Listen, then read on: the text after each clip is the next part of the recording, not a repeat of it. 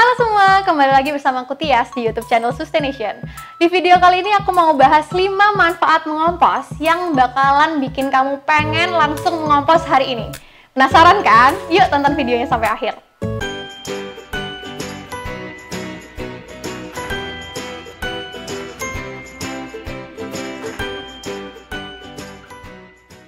Manfaat mengompos yang pertama itu bikin rumah dan dapur jadi bersih, gak bau sampah, gak basah, dan gak ada belatung. Siapa sih yang gak mau kalau dapur dan rumahnya tuh bersih, gak ada bau sampah? Kok bisa? Kompos bisa membuat rumah kita bersih dan gak bau sampah? Iya dong, saat kita mengompos, kita itu memisahkan sampah organik dan sampah anorganik. Nah, bau sampah yang ada di sampah kita itu biasanya disebabkan karena sampah organik yang bercampur dengan sampah-sampah jenis lainnya sehingga menyebabkan sampah organik ini jadi bau busuk, belatungan, basah, pokoknya nggak bagus banget deh dan sampah itu jadi menjijikkan. Nah, ketika kita mulai mengompos, sampah organik ini kita harus pisahkan. Nah, kita olah di komposter. Nah, kalau kita sudah pisahkan, jadinya kita cuma punya sampah anorganik yang bersih, nggak ada bau, nggak ada belatung dan nggak basah. Dan harusnya sih kita nggak perlu lagi tuh punya tempat sampah yang ada plastik reseknya. Seneng banget kan punya rumah yang bersih? Manfaat mengompos yang kedua itu adalah menghemat uang. Nah, siapa di sini yang mulai berkebun saat mulai pandemi?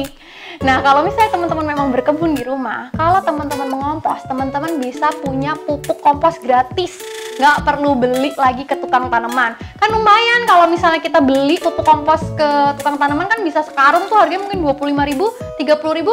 Nah kalau misalnya kita bisa manfaatkan sisa organik dari dapur kita bisa olah dengan mengompos kita bisa dapat pupuk gratis dan akhirnya kita menghemat uang deh.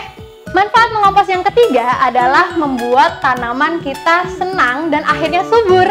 Ya dong, kalau misalnya kita punya pupuk kompos di rumah dan misalnya kita berkebun, kita bisa langsung pakai pupuk kompos kita ke tanaman-tanaman kita yang bisa bikin subur. Akhirnya tanaman-tanaman kita bisa senang, dia bisa membuahkan hasil, bisa berbuah, bisa berbunga, dan akhirnya kita bisa panen yang berlimpah. Jadi siapa lagi yang senang? Kita-kita juga ya kan? Manfaat mengompos yang keempat, dengan mengompos, kita berarti mencegah sampah-sampah organik untuk terbuang ke tempat sampah dan akhirnya ke tempat pembuangan akhir. Kenapa? Karena 60% sampah yang ada di TPA atau tempat pembuangan akhir merupakan sampah organik. Nah, kalau misalnya kita mengompos, kita nggak perlu lagi loh membuang sampah organik kita ke TPA. Kenapa sih kok ini penting?